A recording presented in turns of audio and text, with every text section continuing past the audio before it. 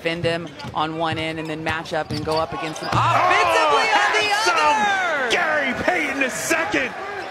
My goodness, Gary Payton right to the rim. No one there. Little lefty throwdown.